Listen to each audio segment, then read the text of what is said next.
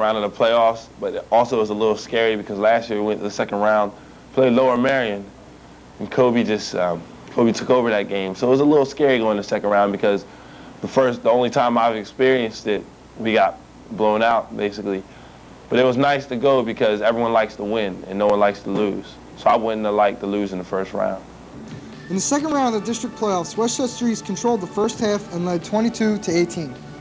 Bensalem fought back and Krishan Lewis's basket and foul made the score 29 to 35. Krishan Lewis stepped up to tie the game with a three-pointer. In Reggie Jackson's absence, Ronnie Morris took control of the offense. After West Chester East regained the lead, Ronnie Morris hit another three-pointer to make the lead 47 to 55 with 124 left in the game. With 10 seconds left, West Chester East tied the game, forcing it into overtime. Overtime belonged to Bensalem as Ronnie Morris led them to a 65 to 58 victory.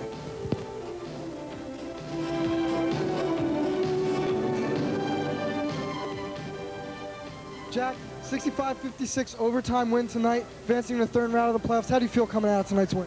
Well, I feel very happy because, you know, we were very confident coming into this game. You know, we saw the, this team play uh, last night, and we really weren't impressed. But you know, they came out and surprised us. But uh, you know, we just picked up our defensive intensity, and uh, we won the game. I feel very confident. I think I can, uh, you know, take my team to another level. But other people just stepped it up tonight. Ron Morris just was the man tonight. He was the man. I was thinking that Ron Morris is the ice man and he doesn't miss. We feel great. We feel confident. It was a good win for us and gives us confidence going into Friday against Coatesville. Bensalem advanced to the semifinals of the district playoffs as they faced the number two seed Coatesville. With the help of Krishan Lewis, Bensalem hung with Coatesville and only trailed 23-30 at the half. Coatesville dominated the third quarter and took a 16-point lead going into the fourth quarter. Bensalem battled back to close the gap to seven with a Jackson three and a Bush layup. However, Coatesville pulled away and Richard Hamilton finished the game in high fashion as Coatesville beat Bensalem 58-47. We got hurt, obviously, when Jack didn't play. You're talking about our leading scorer, 12 points a game, and when he hurt his knee and could not go, that makes us, you know, a weaker team.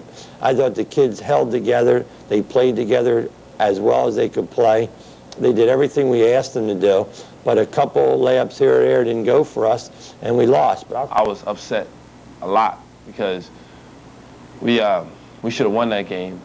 Uh, we we should have been playing at the Palestra. I, I, I was emotional. I ain't gonna lie. It was do or die for Bensalem as they took on Norristown in the consolation game. The winner would go to the state playoffs while the loser would go home. Bensalem seemed to be overwhelmed and quickly fell behind 12 to nothing. The three-point shooting of Jack Howard and Krishan Lewis kept Bensalem in the game. To start the third quarter, Krishan Lewis hit one of his three-pointers to tie up the game. Norristown began to pull away, but once again, Krishan Lewis hit a three to bring Bensalem to within five. After Norristown foul shot, Alex Houston hit two of his own, making the score 53 to 50. Norristown scored on their next two possessions, and Bensalem's hope to reach the states were over as they lost 57 to 50, ending their season. I'm gonna miss just suiting up, coming out, running out to our music, having something to do at night during the week, going to practice, miss playing with all the guys. It was very heartbreaking, you know, because that was my last game, Reggie's last game, all the seniors, you know. And uh, it's, it was kind of hard knowing that we wouldn't have to get ready for practice next day, you know, not being able to talk to Mr. Pert, Mr. Briner, you know, make fun of everybody. It's just, it's just hard to realize that all that was going to be over.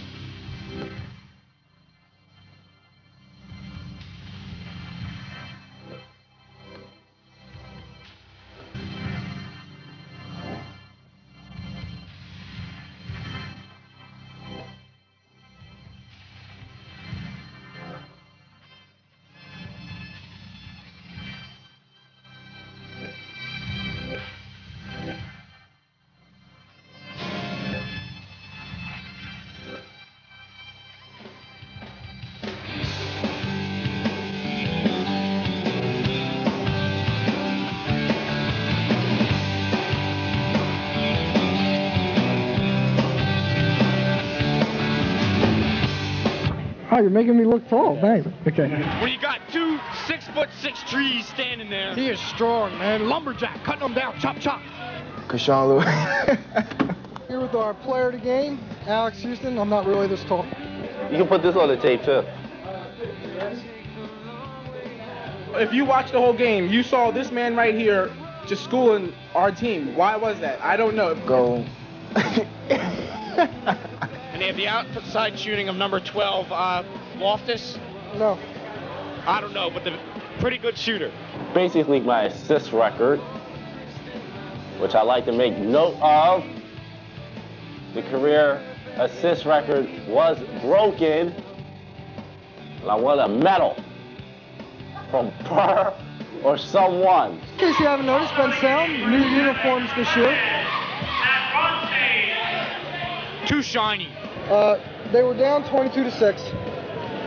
Since then, North Penn has scored 7. We've scored Come on, figure it out. 16. 16. Uh, the rest of the seniors.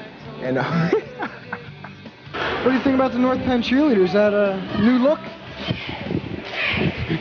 New look. Yeah, they, that, they're cheerleading uniform. what, that they're wearing cardigans or v-necks or something? Yeah, it's it's not it's different. I don't like it. What do you like it? Yeah. I Big fat guy. Was he a problem inside? I mean, he was pretty good.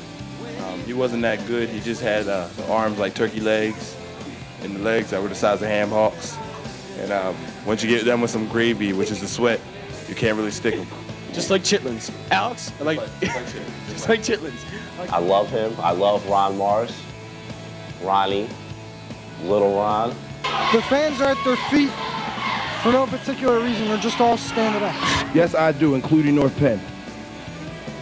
Uh. Okay. Played very well this evening. Lose the street.